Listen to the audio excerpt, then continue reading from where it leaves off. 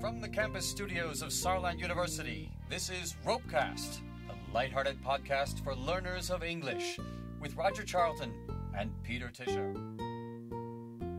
Hello there, and welcome to another Ropecast. Hi, Peter. How are you? Well, I'm fine, thank you. But uh, you don't look so good. Are you sitting on something? Is there something on your mind?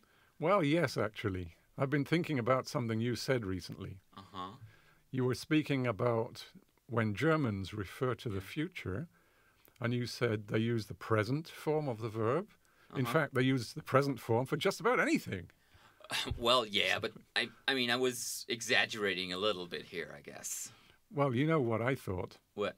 The Germans are a lazy bunch. What do you mean? They they really do make this one form do for just about everything. Oh, come on. I mean, you know, this was just you were joking. This was a podcast, right? We I have a little list if you're interested. Okay, go ahead. Give it to me.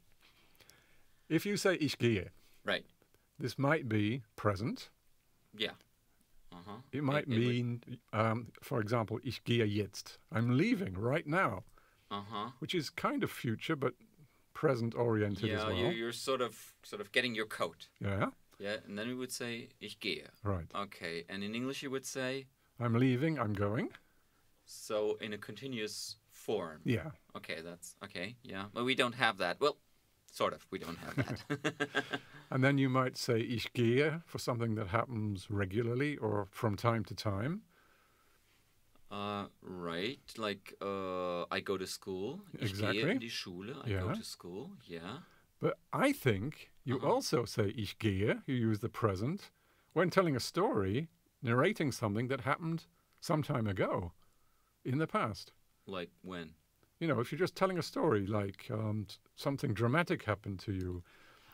Uh, Ah, okay. ich gehe in die it. Kneipe und. Ah, yeah. You you you would use another syntax, another order of the words. Very often, you would sort of think, say things like, "Da gehe ich in die Kneipe und da sagt der doch zu mir." So you're using or- present forms, aren't you? True enough. Yeah. So you use the present for the present, you use the present for the future, you use the present for the past. You're lazy. Uh, well, okay, granted, in a way, yeah. But hey, what about this bar story that I just told? Yes. You do that too. Me? Nah, well, not you personally, the, the British or the well, any native speaker of English. Um, that very same story. Now you go ahead and tell it.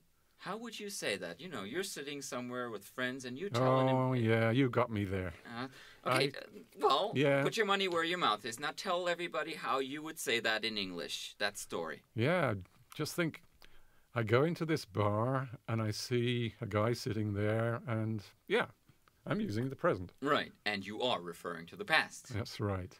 So could we at least agree on that Germans are lazy and the British are half lazy? right. okay, on that compromise, I think we can end that podcast. Fine. and we will go right now and have a beer. That's fine with me. Okay, this is the future for us. Bye. Bye. You've been listening to Ropecast, brought to you by Saarland University, featuring Roger Charlton and Peter Tischer. Tune in for the next edifying episode on your podcast dial. You know what's unfair? What? That you're a native speaker of English and I'm not. Oh, you're a native speaker of German. Yeah, but we're speaking English. Yeah. That's your problem.